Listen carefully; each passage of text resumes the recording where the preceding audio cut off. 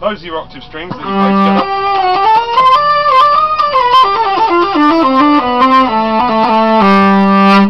And the one thing that makes this instrument unique is what they call the trompette. Let me get that in tune. And this string sits on a loose bridge. It's called the chien, the dog, because it barks.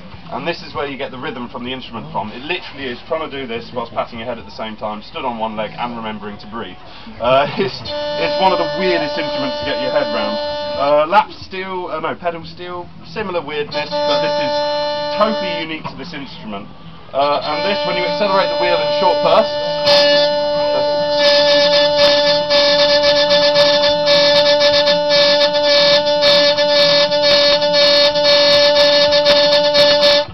gives you your rhythm. Now I've got two fitted.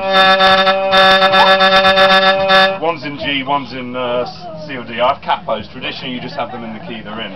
So when they all come together.